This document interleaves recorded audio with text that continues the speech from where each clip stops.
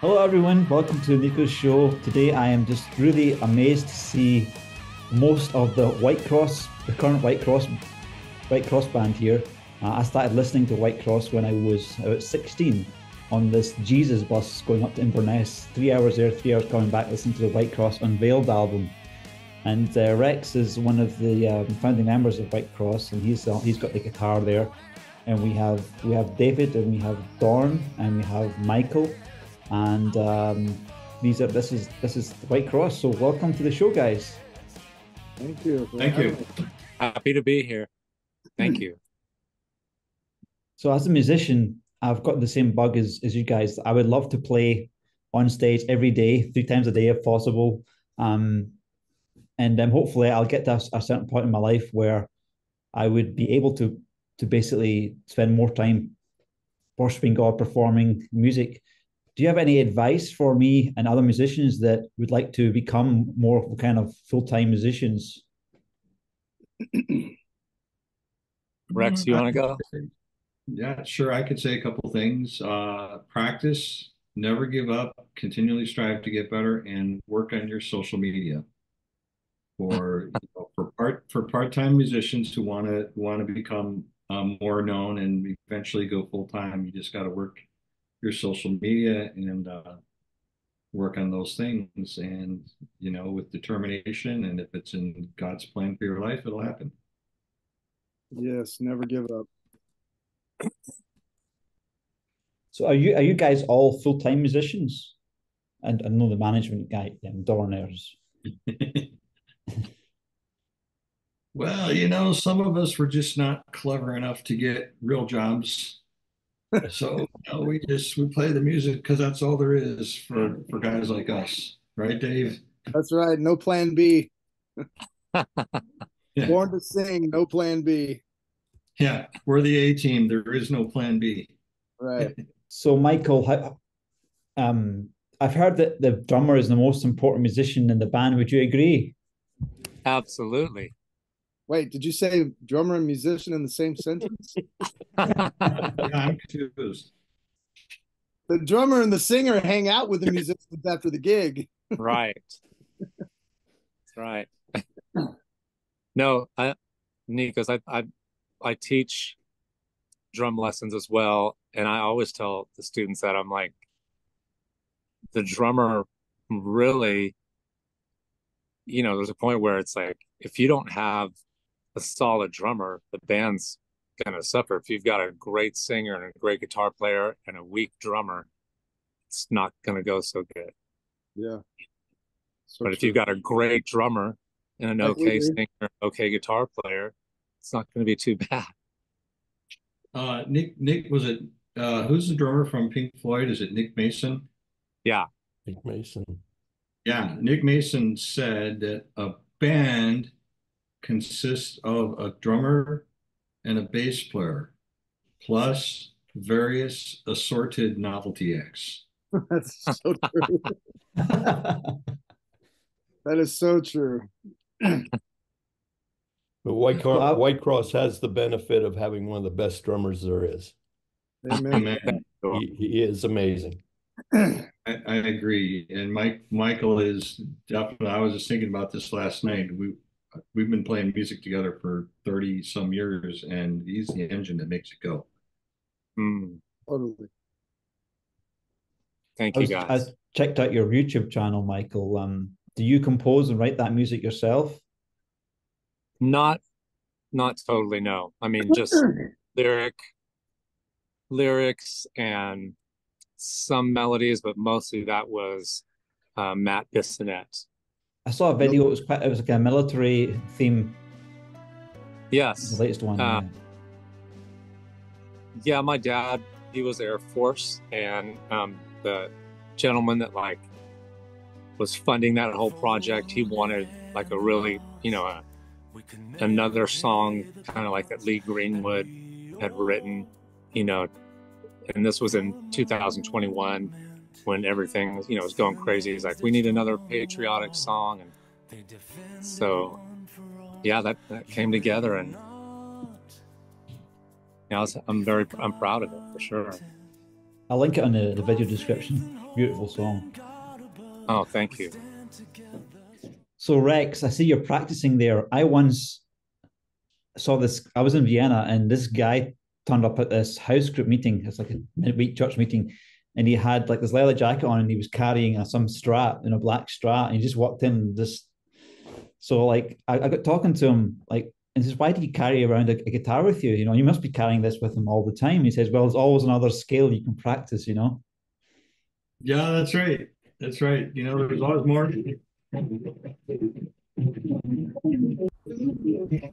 There's always, you got to keep the fingers loose.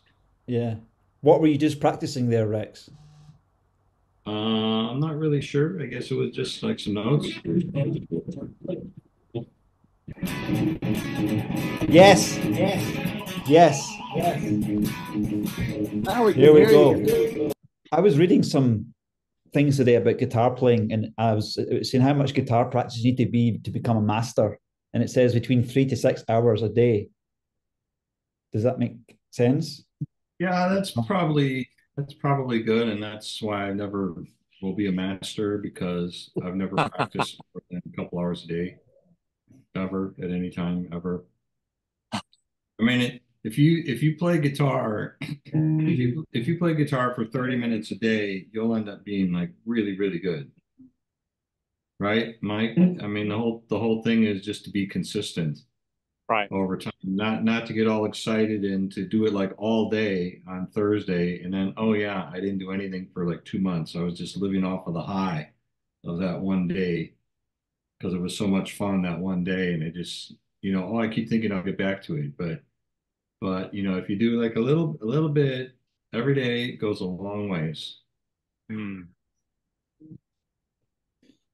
And what about what about playing playing the drums, Michael? Do you have um, opportunity to play drums every day? Because I know that's a big challenge with drum players to get really good. They have to be able to practice a lot, which is very difficult. It is. I mean, um, like when I was younger, oh my gosh, it was like four to five hours a day, you know, and now it is, it's much harder just because of the sound issue. Um, but I always have like a drum pad and um and I get to, you know, when I'm teaching, you know, I'm kind of constantly on the drum set, although I'm not um practicing, I guess, like I would like to. But there there's some students that will push me, and you know, so I'm I'm def I'm on the kit, a, you know, a lot because of teaching. But yeah, personal practice, like Rex is saying, like, and 30 minutes a day, just focused practice on things that are difficult. Yeah, you'll see a huge improvement. Have you tried any of those Roland V drums with the meshes? Yes, I'm actually I'm I'm thinking about getting one of those. I've, I mean, I would never play something like that live, but yeah, to, to practice at home be something. Yeah, my friend was testing it out on uh, Guitar Guitar in Glasgow. I wonder if it's the same feel as real drums because I know that you need to pr- also practice the way the stick hits the the contact bit, you know, and so that's like. But then that's, that's a big that's a big solution for for I mean, like neighbors, you know. Yeah, I mean the really the really expensive Roland uh, electronic drums are are pretty good, but then you're looking at like you know seven grand. Mhm.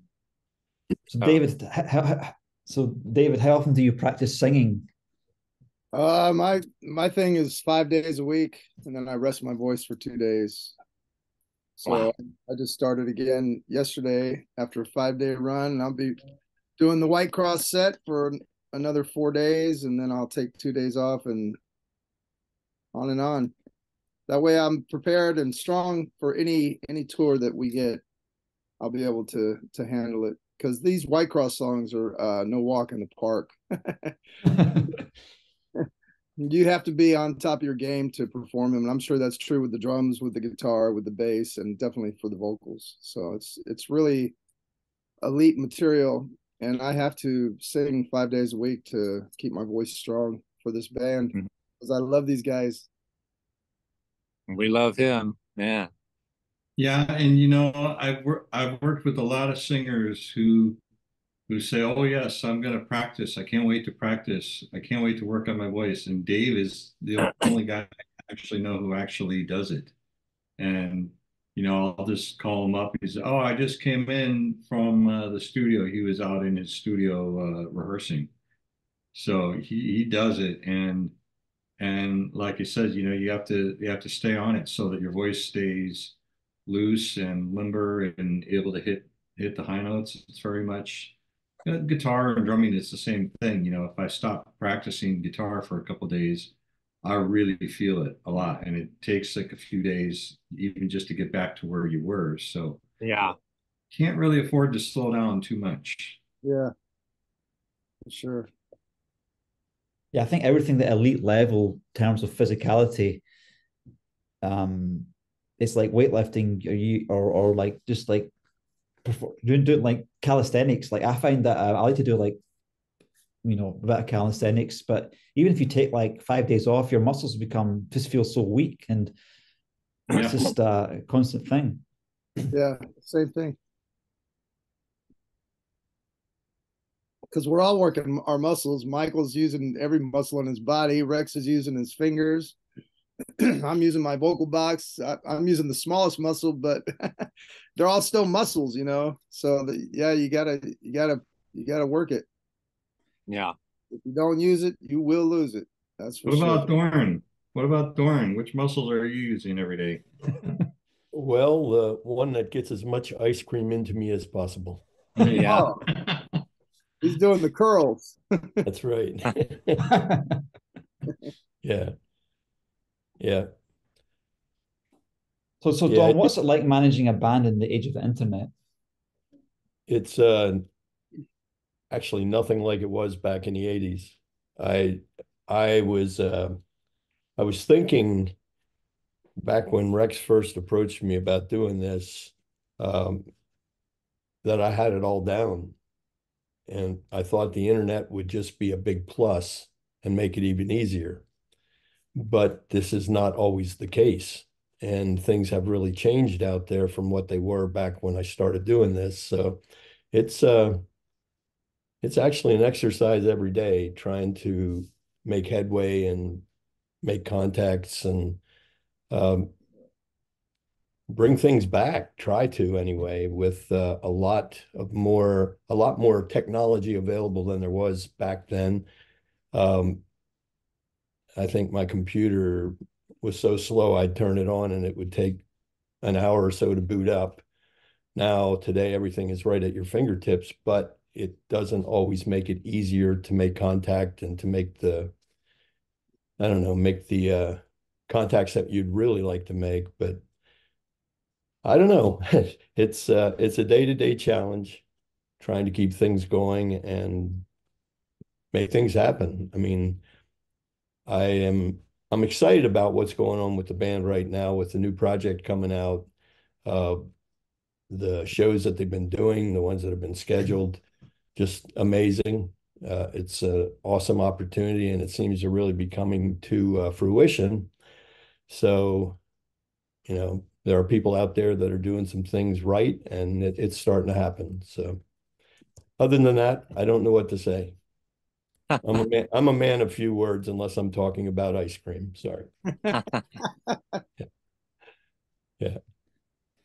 So one one of the things that I love about Whitecross is that they have these massive guitar solos in just about every song. That's that's and each guitar solo was like different. So I, I like some of the Van Halen songs. But sometimes the the you know the the, the amazing late um, Eddie Van Halen, his, his, his guitar solos were, were sometimes quite short, but with Rex you get like two or three minute long solos in every song. It's like how do you how do you come up with with such original solos that that stand out? Well, I've I've been going to therapy and and my therapist says that, you know, starting starting this year I have to like cut 30 seconds from each solo. And and uh, you know, the band has stood by me during my recovery and uh, I'll try to, you know, they're trying to reintegrate me into society so I can be a normal musician. That'll never happen. But the, it, it's, I don't know if it'll ever happen yet. so how much when you're on stage is the solo remembered versus like improvisation? I guess a mixture. Uh, for a serious answer to that question, it's like, well, there's there's if it's a really if it's a really good solo, if it came out really well on the record, then I try to recall uh, some of the high points. Uh, but I you do see bands and artists where like when there's a guitar solo, like I, I saw a fantastic group called King and Country, and maybe out of a two hour concert, there was maybe like two guitar solos uh, one of them was like for four measures and the other was for six measures. So they don't really feature uh, the guitar solo, but you know the, the solos that the guy played were, were scripted out note for note. So there's there's it's a featured part, but there's there is no deviation whatsoever. Every night it's exactly the same. Uh, our music is is uh, comes from an earlier era. We come from uh, you know, Van Halen, in a sense, uh, since you brought them up, they were kind of a jam band. Like they could just feel the vibe in the moment and they could go. And uh, uh, lately I've read some things uh, on the internet about um, how Eddie and Alex, the two brothers, would would uh, they were intuitively connected. Um, and I I think that uh, Mike and I have that to a degree um, where we feed off of each other. And um, and I think I think Dave's getting into that too. And uh, so I, I think we feed off of each other uh, to where we have there's enough freedom within the form of the song that you can improvise something um, and and we don't look at it as oh you deviated from the script we we don't look at it that way we look at it as wow, whatever you just did really enhanced um, the presentation of the song. So, so you'll play the song a hundred times, uh, but no version of the, every version of the song will not be. There's no identical two versions. Uh, there's always like uh, deviation, like some small, sometimes a little bit, sometimes more, sometimes a lot. But um, so you could you could play the song 10 times a row in a row and Dave will do something different uh, on a vocal thing at the end just because he'll feel it. So we have the freedom to do that. Uh, in the bands uh, from the era that we grew up with, groups like Cream and Led Zeppelin and Deep Purple and these kinds of bands, um, you know, so they have the form of the song, but there was a lot of room for creativity and individual expression and and uh, so there's a give and take, almost like a jazz musician approach. Um, and that's that's great. And then and then what we see today with the computerized, um, yeah, you see groups where the where the light show is timed uh, to the music, and there's like nearly impossible light cues, but it, it's possible because everything is is running off a sequence on a computer and that's great. And those are those shows are really fun and they're really impressive, and it's a, just a different kind of experience. So uh, I don't think there's any one right way or wrong way, but just in our group, we're still kind of a holdover from that uh, from that sort of jazz musician mentality where we can we can play the song and then we can improvise within the structure of the song a little bit. So that's my answer. Anybody else want to kick into that? I think you covered it there. That was well said, Rex. yeah. Can I, can I say, let me say something, let me say something from a different point of view.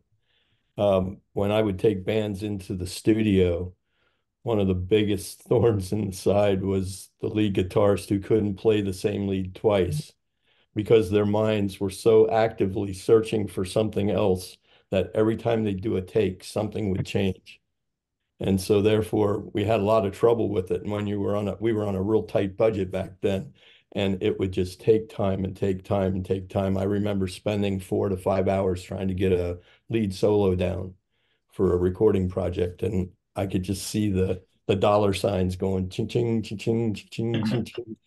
But uh, at the same time, at the same time, I think that's one of the beautiful things about Rex and his solos. They're they're so touching. And every time he plays one, to me, it hits even harder or or more in the heart and the gut or whatever because of the little subtle changes he makes. It makes it something new. Um, you, you're not expecting it, and then something really great comes flying out of that guitar, and uh, that's uh, I, so I have two different points of view, but I love the I love the creativity. I like what Rex is saying about the the jazz musician aspect of it. I've witnessed that a whole lot, and uh, it's it's a good thing. I'm not putting it down. It's a good Yeah, thing. and and Doran, you're you're so right about that because I remember uh uh like when we were doing the In the Kingdom album, there was times um most of the, for the most part I would play through, but there was times when I would just get really stuck and there was there was a part in the song No Second Chances right during the lead break. It took me an hour and a half of studio time and the clock is running like you said and the dollars are going out the door Yeah, um, we're spending the money, but it's like, well, I'm stuck on this one spot, and it took an hour and a half to get it right. And when it finally did, oh, what a relief! You know, and great. when and when there. When you get the final results, then it's like, wow, that was worth it. That was worth Yeah, it. uh, Yeah. yeah, because because you just don't want to let um a you don't want to let a record, you know, once a recording goes out, uh, it's forever, right? It's digital, it's Mhm. on the internet. I mean, it's out there in the ether, and you figure, well, 400 years from now, uh, somebody's going to go, oh yeah, and they used to have this thing called the internet. It's hilarious. You couldn't even do it in like 3D hologram like we do now. You know, such ancient Neanderthal technology they had 400 years ago. But I found this really cool band, and they had this song called No Second Chances. And check out this thing. They had these thing called electric guitars, and this is how this thing went. And it was it was actually it was pretty cool, you know. So so you think uh, you know once you put it out there, it's forever. Yeah. So you don't want to let something go unless it's unless you know that you you gave it all and it's it's the best that you can get. Yep. Yep. So I, I'm doing a lot of improvisation, Rex, and um, so if I take the A minor scale,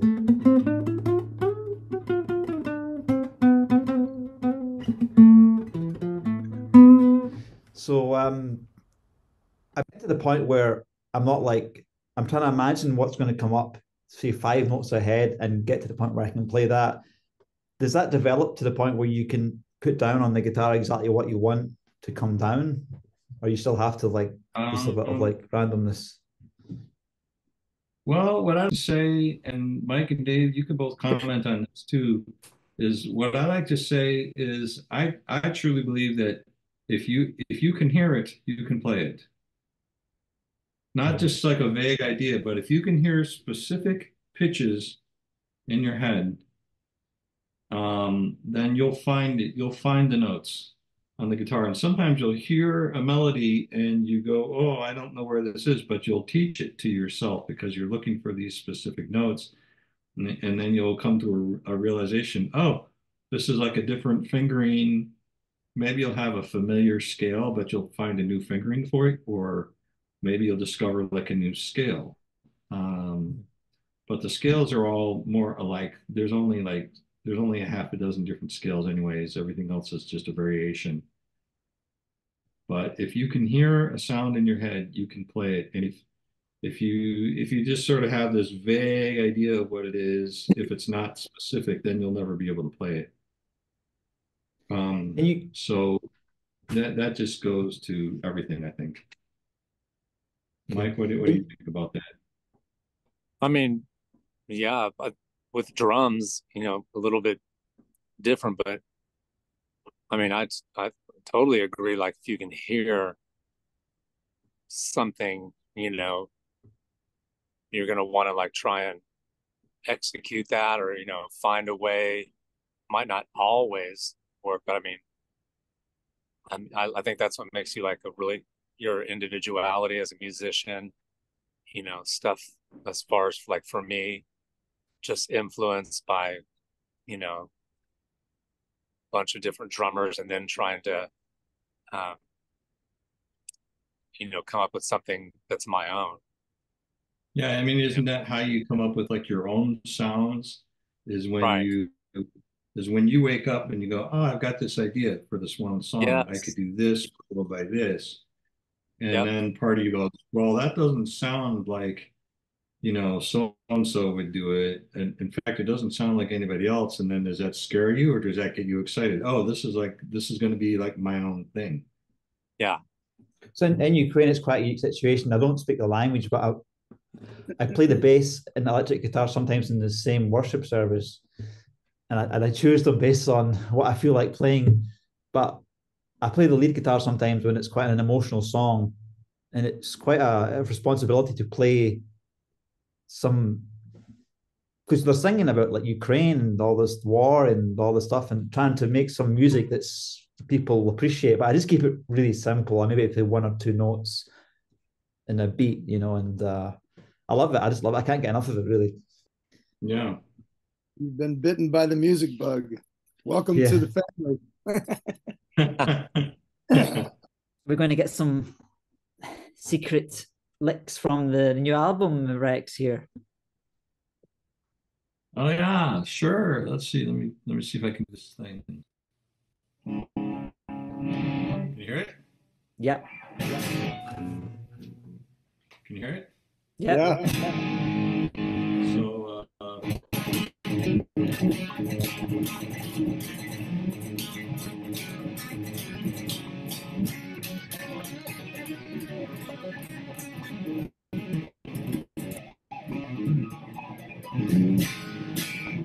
that's like the first song. I noticed that pinch harmonic there. I'm still trying to figure out how that works. Um, but I love the pinch harmonics. Well, you just go like this.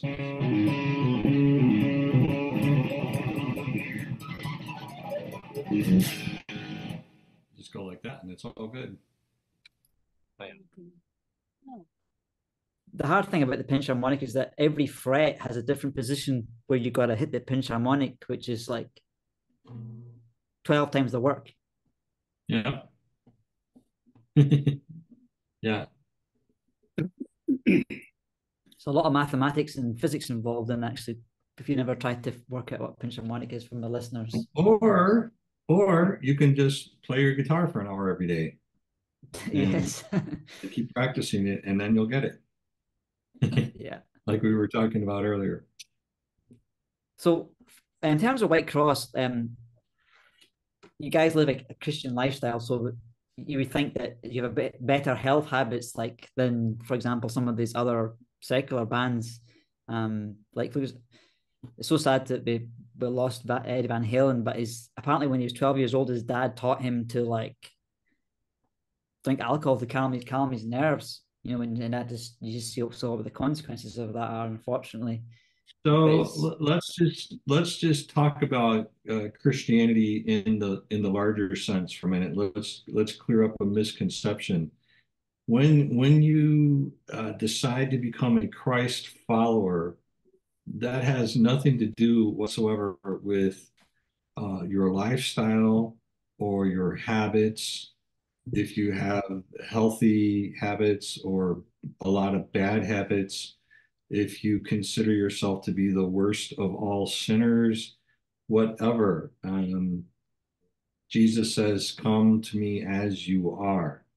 And it's not your job to, well, I have to clean myself up so that I'm ready to become Christian. That's not how it works. Um, because if that were the case, no one could be a Christian because there is not any of us that could possibly clean ourselves up, quote unquote, uh, to become good enough to to be a, a holy uh, specimen of the Church of Christ. You know, that's not what it's all about. What it's about is that even while we are in our uh, sinful condition, and everybody everybody in the world has a different concept of sin, but you know what it is for you uh, the thing that you're not supposed to do that you keep doing, or the thing that you should do that you haven't had the courage to do yet.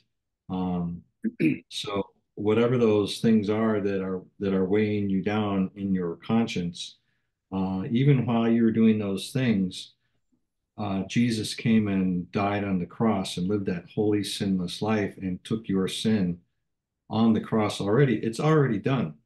So, so the only thing you have to do is is believe in your heart that uh, God raised him from the dead and confess him with out loud in public that he is your savior and that's it and then you will be saved. It's it's um, you know all religion in the world is man trying to do things to please God. Like if I do these following steps then I will attain to the required level of holiness that's required Christianity is the only religion in the world where God reaches out to us and says, everything that's needed is done for you already. It's a free gift. Uh, receive the gift of Christ and come into my church and be part of my family and live with me in eternal glory and bliss and eternal pleasure and joy and everything else um, forever. And uh, so that's that's what Christianity is. As far as when you see Christians, you know, little by little, um, once you've made that decision to follow Christ, you know, when you receive the Holy Spirit, the Holy Spirit will, will as you allow yourself uh, to be open to the Holy Spirit, He'll make subtle changes. You know, you will you will find yourself wanting to be to live your life in a way that is more pleasing and more honorable uh, to God. And you, as you start thinking, uh, well, here's here's what I want to do just like how you always did. And then you start thinking, well, um, what would be pleasing to God in this situation?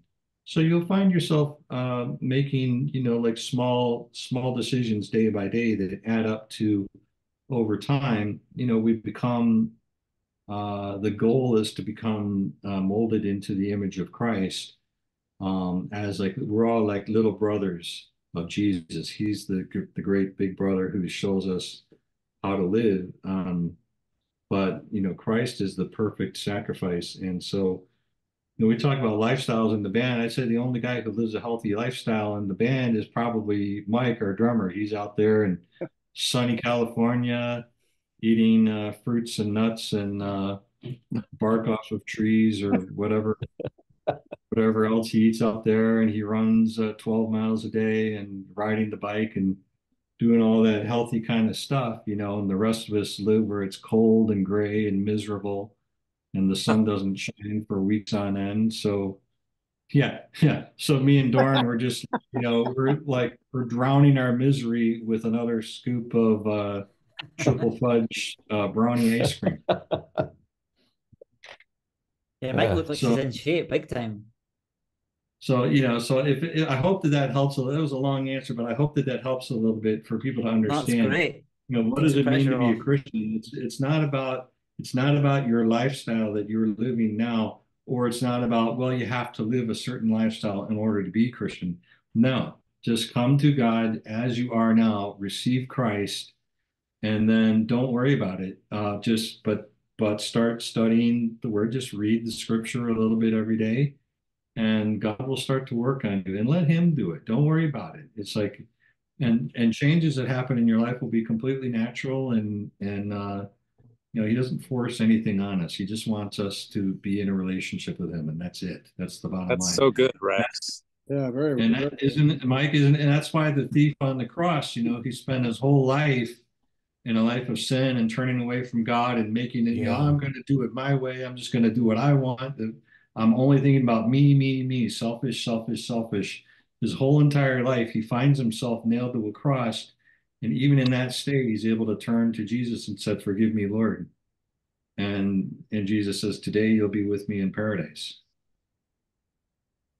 It's awesome. So so it's not about, you know, like us making ourselves good enough to be to become uh, a believer. You know, it's like just believe.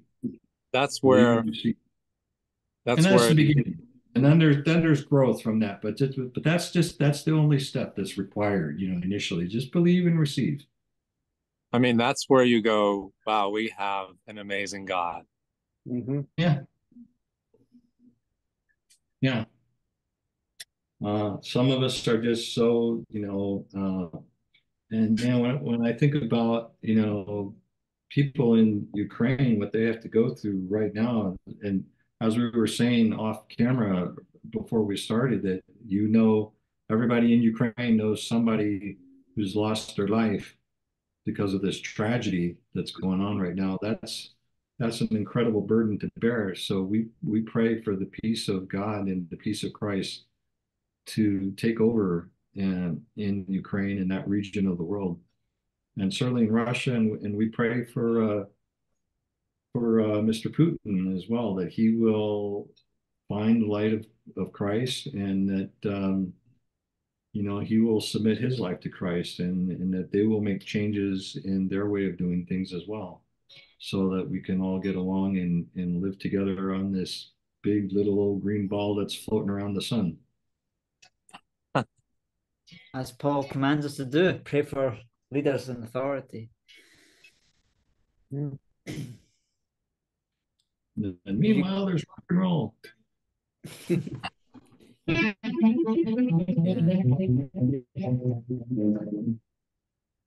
yeah, Ukraine's Ukraine's getting to the point where it really does need divine intervention to hopefully Zelensky's at that point where he's not just like give me more missiles and more more bullets. Give he's going to. I don't know if he's a Christian or not. I don't. I don't think he is.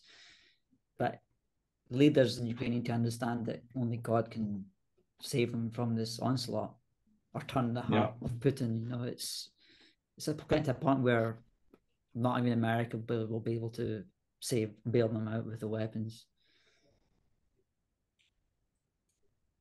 I'll tell you what I would like to see is I would like to see Whitecross performing a concert in Ukraine celebrating freedom and and uh, the victory of the gospel and people submitting awesome. themselves to uh, to Christ. I'd be down for that for sure. I would love to have that concert. We have a venue. Ukraine. All right. right. Yeah. I, I, would love I would love to see that happen. And uh Dorn, let's let's get to work on that. Well, and then I heard Scotland mentioned and uh, Switzerland and uh, other uh, other countries. I'd like to go over there and do uh do a tour through everywhere. Yeah. And just yeah. proclaiming the gospel and, and freedom through Christ. Absolutely. All of these places when you read the when you read the Bible, one of the few things that are commanded is actually to play a stringed instrument and and or play the tar, play the drums. There's there's like lots of psalms where we're actually supposed to be musicians to worship God. Mm. You know. Yeah. That's right. Yeah, Psalm one Psalm one fifty, right? Like it's Somewhere there, yeah. And and we certainly have done that. You boys sound like you're making a lot of noise over there.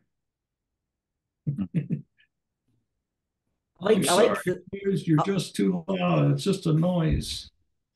I like Whitecross because they, they, they're, they're very deliberate with their riffs and their leads. A lot of, for me, Christian music is too muddy. They have the every other instrument playing at the same time as distorted guitar, and it gives me a bit of a headache. But Whitecross for me is easier to listen to, and, and a lot some lot some of the songs, you know, um, and I, and I just love like Whitecross uh, message that they don't they don't compromise on the on the gospel. You guys are hard hitting scriptures, you know, and and uh, don't mince your words, and that's just so beautiful to see that that that authenticity of boldness, of, of, you know.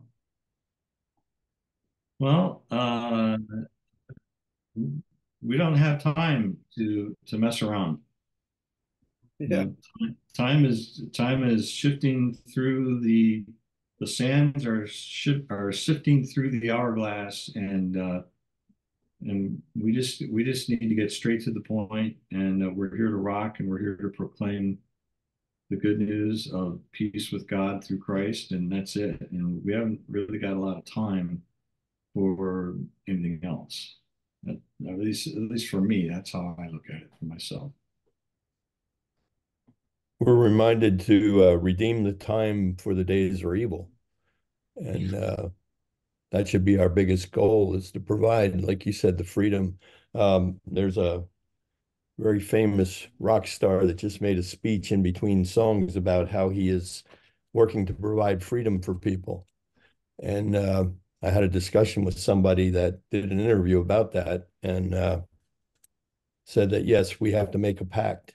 Actually, my grandson heard this and said, we need to make a pact to pray for this guy every day so that he finds the true source of freedom to provide to people. And uh, if, if you look at metal and the message that comes across in Christian metal, it's probably the most glorifying of the genres as far as glorifying Christ.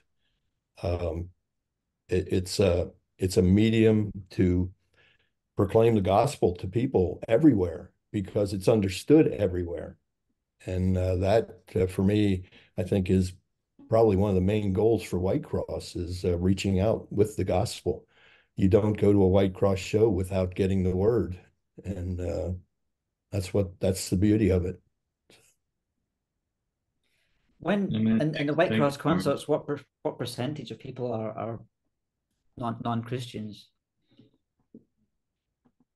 Uh, I think we used to try to keep tabs on that. I just I just stopped worrying about that. It's like God is going to bring people there that He wants to be there, and and uh, um, everybody, you know, when we're having a concert, we realize that everybody in the room, including those guys uh, that are in the band, you know, all of us have issues, and uh, we're all uh, trying to work through.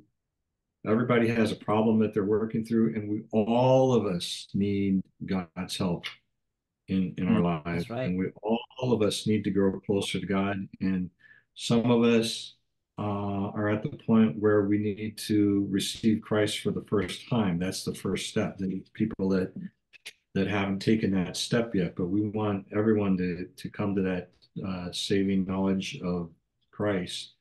And some of the people are ready for that. Some of the people are not. Some of the people that have taken that step, but we still have issues that we're working through. So you know, your life doesn't just magically become uh, easy like a fairy tale just because we decided to become Christian. and just that we realize that God has given us eternal security through Christ. So at least we have that, you know. And then from there, we still have to work on all the, the various things in our lives that are going on.